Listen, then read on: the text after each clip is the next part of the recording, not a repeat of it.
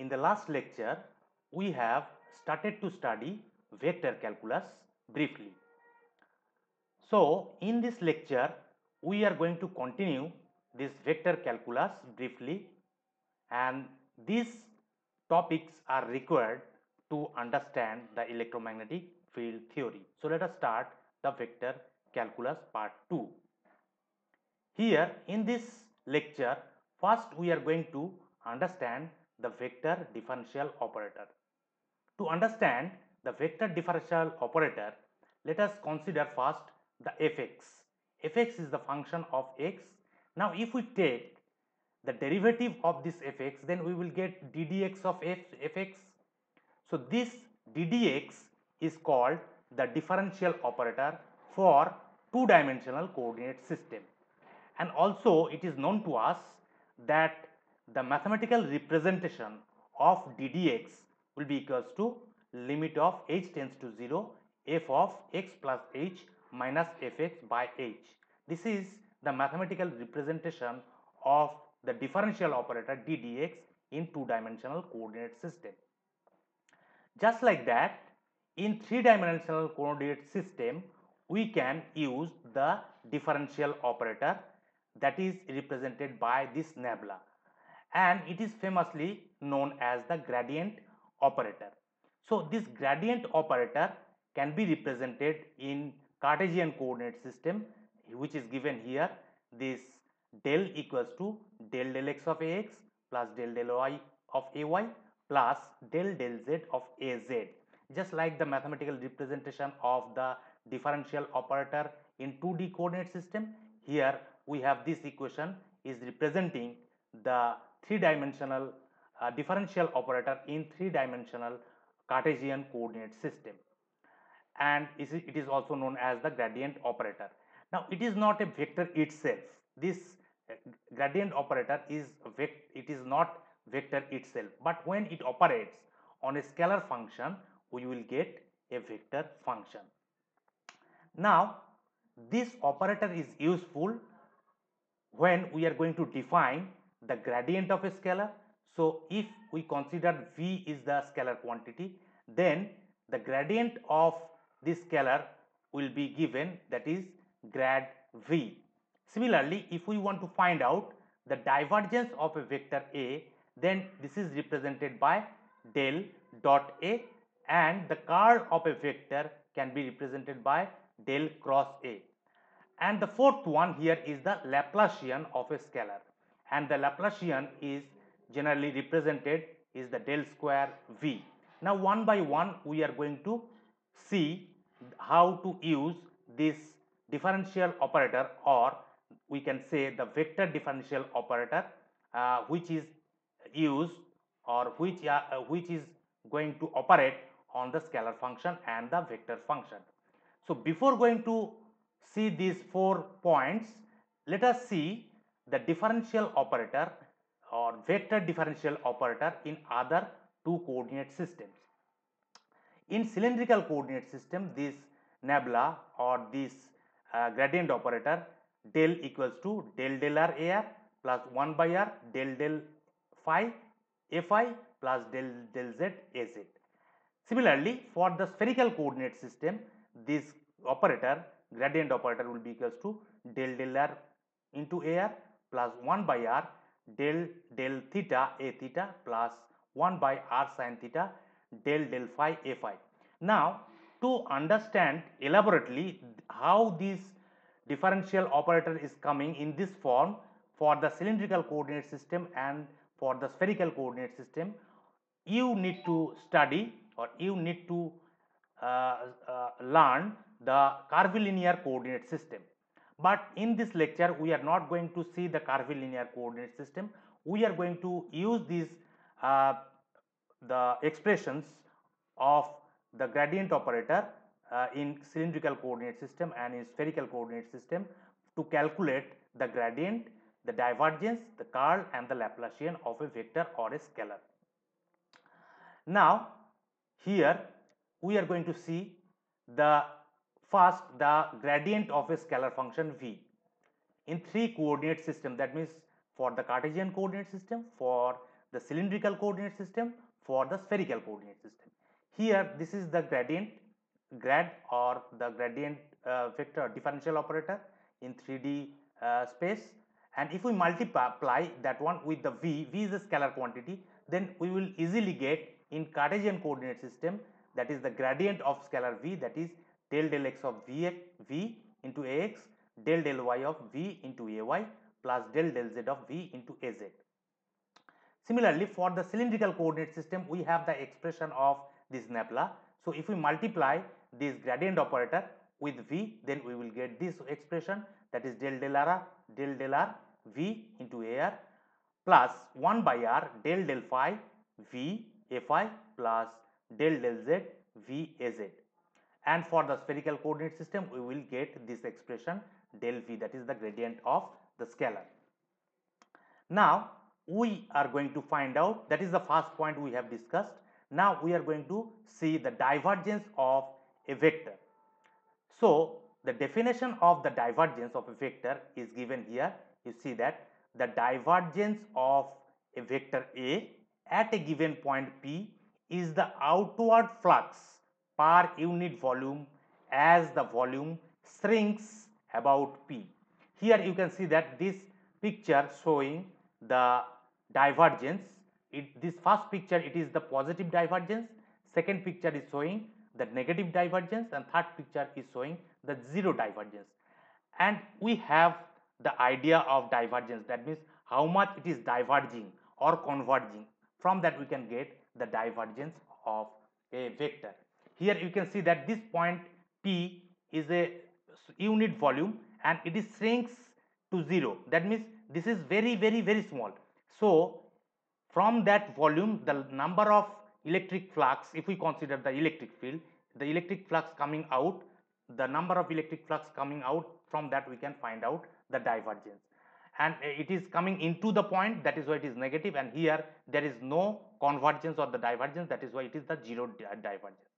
Now if we want to express this definition mathematically you can see that div A that means the divergence of A that can be represented as del dot A which is equals to you can see that the total outward flux.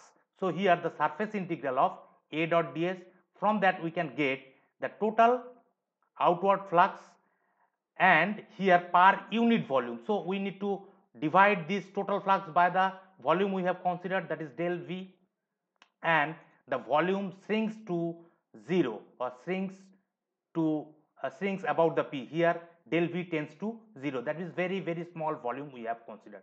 So, this is the mathematical representation of the definition of the divergence of a vector. Now, we can calculate the divergence of vector A in three coordinate system. We have you see that del dot A, A if we represent it in, in Cartesian coordinate system, then this vector A we, we, we can uh, we can express this A in Cartesian coordinate system that is AX AX plus AY AY plus AZ AZ and the expression of this del is represented in Cartesian coordinate system we have seen earlier. So, if you take the, uh, the del dot A we can find out this expression which is represented that is the divergence of A in Cartesian coordinate system. Similarly, we can find out the divergence of A for the cylindrical coordinate system using this expression and the divergence of A for the, the spherical coordinate system by this expression we can find out. So, now the divergence theorem, this is very important. From this theorem, we can understand how to relate the surface integral to the volume integral. So, this divergence theorem says that the total outward flux of a vector field A through the closed surface S is same as the volume integral of the divergence A. Here you see that the total outward flux of a vector field A we can calculate here for the closed surface. So, here closed integral surface S A dot ds. So, this is the total outward flux through a closed surface that will be equals to the volume integral of del dot A dV volume integral of divergence of A. So, this is the mathematical representation of the divergence theorem. Now, this is the divergence of the vector field we have seen now we are going to see the curl of the vector. Now the curl, the definition of the curl of a vector is given here. You see that the curl of a vector A is and magnitude is the maximum circulation of A per unit area as the area tends to 0 and whose direction is the normal direction of the area where the area is oriented to make the circulation maximum. So, to understand this definition we are going to use the mathematics that means the mathematical representation of this definition of curl. Here the curl of A that can be represented as del cross A that is we can find out. That is the total number of the flux lines circulating flux that is line integral of A dot dl we can find out. Divided by del S that means if the area is unit and tends to 0 so limit s tends to 0 and its value will be maximum. We can understand the curl by using one example. It is uh, we can visualize that curl of a vector.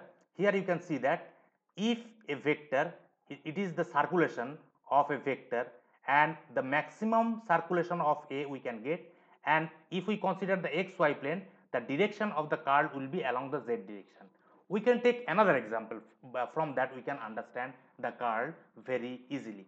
Curl means the curly curly part that means it is circulating. So suppose a channel is given to you through this channel the water is flowing. Now this flow of water you can consider a flow of vector A.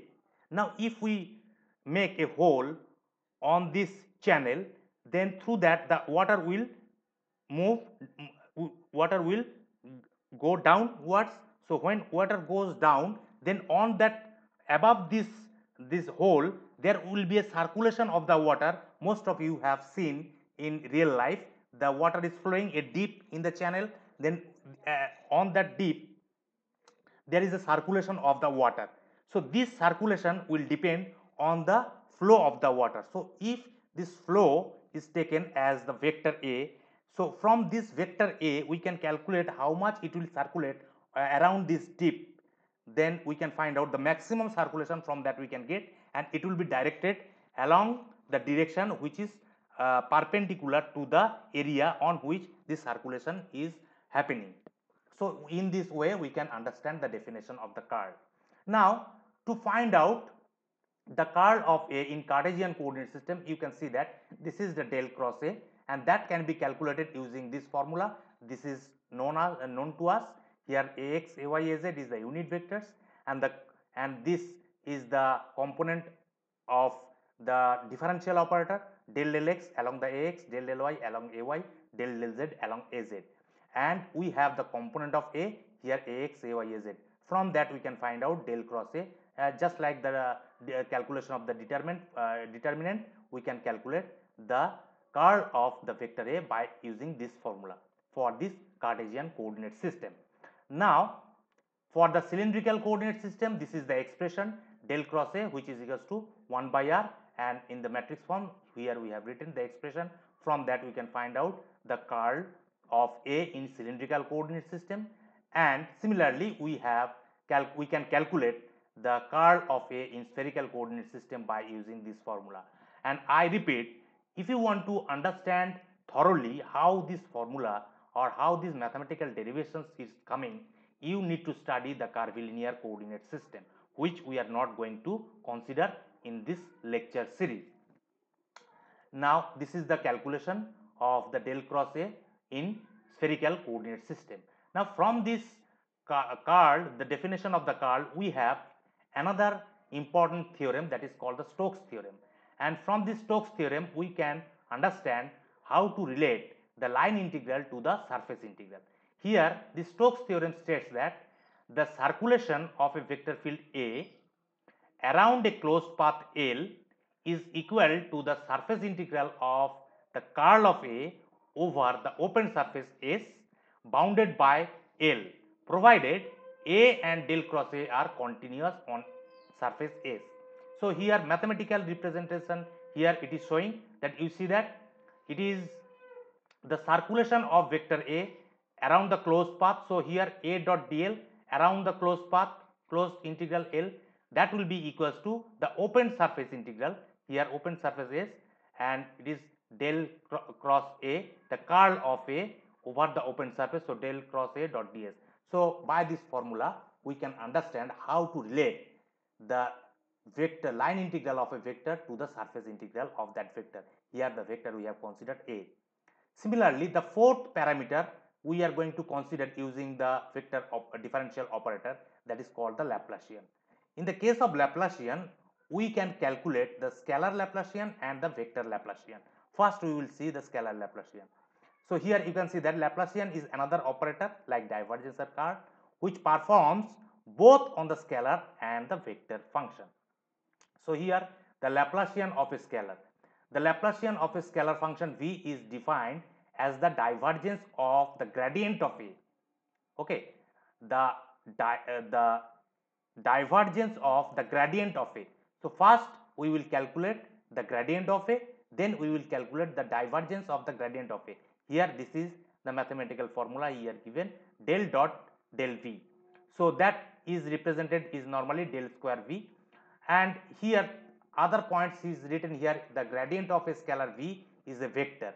Obviously, the gradient of a v uh, a scalar v is a vector, but if we take the divergence of that vector then we will get the scalar. So, that is why it is the Laplacian of a scalar.